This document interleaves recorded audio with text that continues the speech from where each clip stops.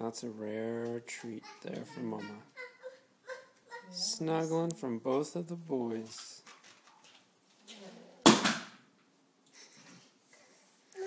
Yeah. Now it's done. Thanks, guys. that was nice.